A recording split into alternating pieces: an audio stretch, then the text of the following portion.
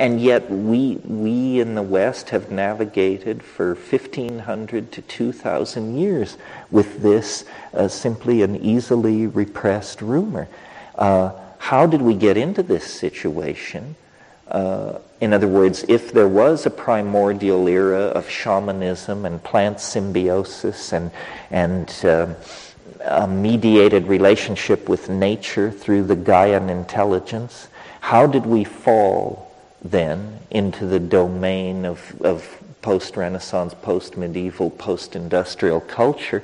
And then, what is the implication for the future of, in this dark hour of complete um, overcommitment to technology, economic solutions, rational reductionism, materialism, so forth and so on. In the darkest hour of our commitment to these things, this news arrives from these repressed Aboriginal people that we have marginalized and, uh, and uh, humiliated in the process of building our own version of a global culture.